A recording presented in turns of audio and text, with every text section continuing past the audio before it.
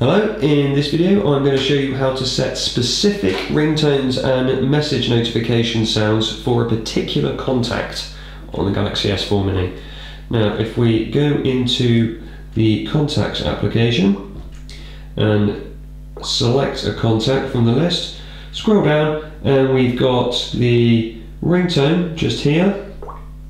Now if you leave it at default ringtone it will use the ringtone that you have selected for the device globally in the main settings or you can pick from a particular one stored on the device and add your own from a music service or from files stored on the device.